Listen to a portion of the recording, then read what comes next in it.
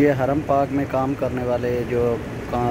worker हैं उनका camp है अस्कान बिन लादन